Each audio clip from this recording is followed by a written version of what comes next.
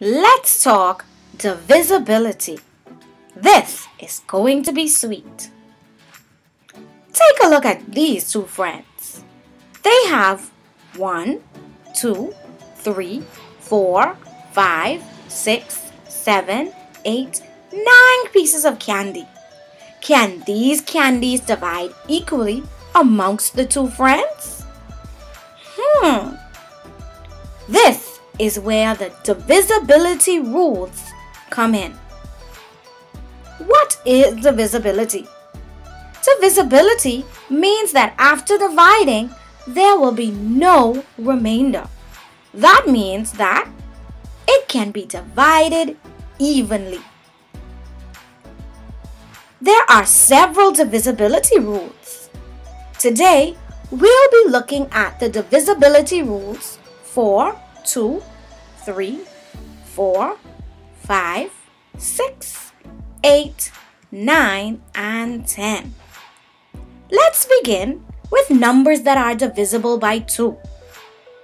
If a number is divisible by 2, the last digit is an even number. That means that it ends with 0, 2, 4, 6, or 8. Let's look at this example. 7,890.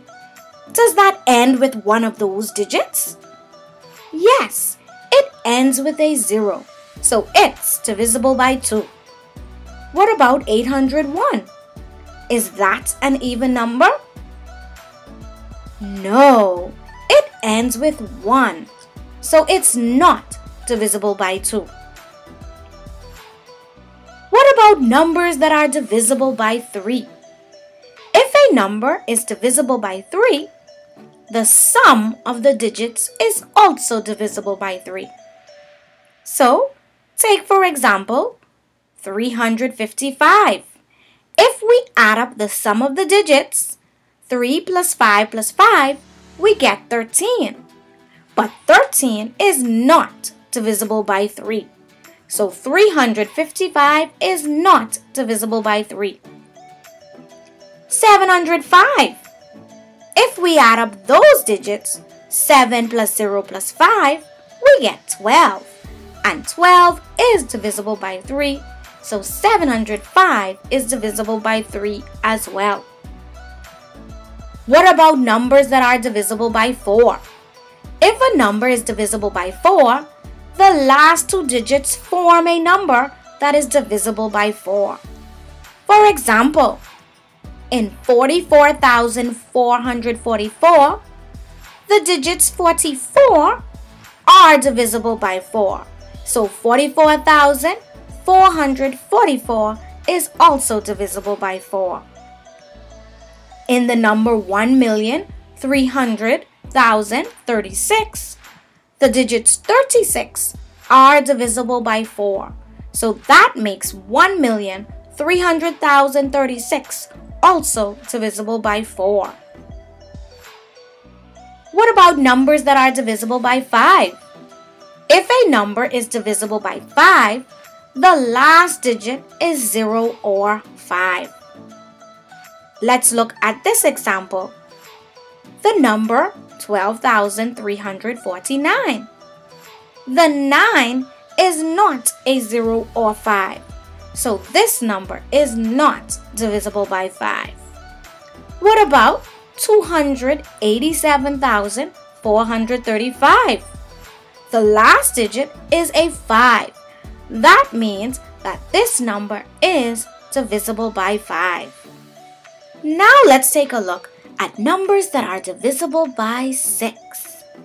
If a number is divisible by 6, the number is also divisible by 2 and 3. Remember, numbers that are divisible by 2 end in 0, 2, 4, 6, or 8, and they're even numbers. And numbers that are divisible by 3, the sum of the digits is also divisible by 3. So let's look at this example. 654. 654 ends in 4, so it's divisible by 2. Now, If we were to add up the sum of those digits, 6 plus 5 plus 4 gives us 15. And 15 is divisible by 3. So that means that 654 is divisible by 6.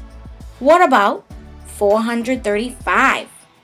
435 does not end in 0, 2, 4, 6, or 8.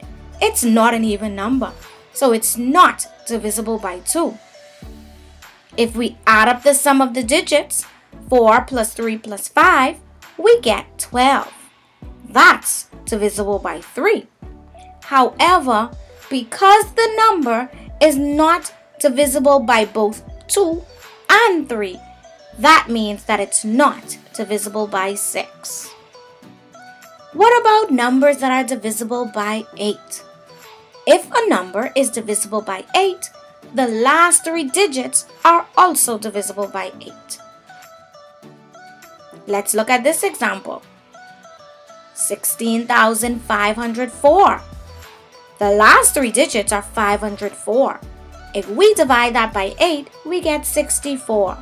So that means 16,504 is divisible by 8. What about 4,352? If we divide 352 by 8, we get 44. So that means that 4,352 is divisible by 8. Hmm. What about numbers that are divisible by 9? If a number is divisible by 9, the sum of the digits is divisible by 9.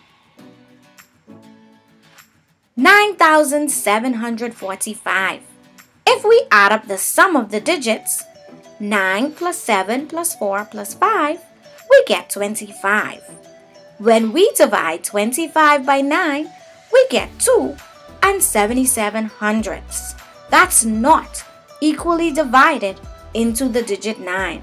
So 9,745 is not divisible by 9. 288. Let's add up the sum of the digits. 2 plus 8 plus 8 gives us 18. 18 divided by 9 gives us 2. That means that 288 is divisible by 9. Let's take a look at numbers that are divisible by 10. If a number is divisible by 10, the last digit is 0. Let's look at this example. 12,340. That ends in a 0, so that's divisible by 10. What about 98,870? That also ends in a 0, so that is divisible by 10. Let's go back to our problem at the beginning. Can these candies divide equally amongst the two friends? To solve, we take our 9 candies and we need to see if 9 is divisible by 2. Remember, numbers that are divisible by 2 end in 0, 2, 4, 6, or 8.